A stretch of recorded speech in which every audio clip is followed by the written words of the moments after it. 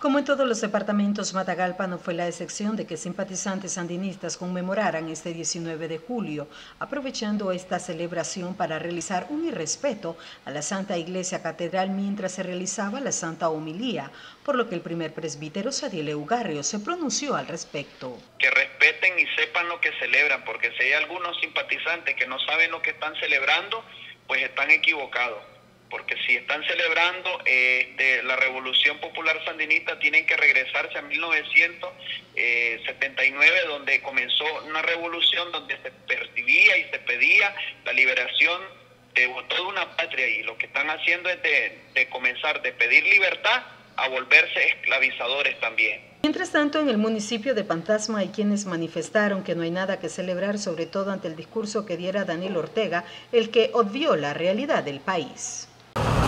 Toda la población de Nicaragua sabe que celebrar un 19 de julio más es un error y los que más saben de esto son los mismos sandinistas. También el pueblo de Nicaragua no tiene nada que celebrar. Eh, lo único que ha traído este gobierno corrupto eh, es destrucción y muerte a las familias nicaragüenses. Les informó Sandra Martínez.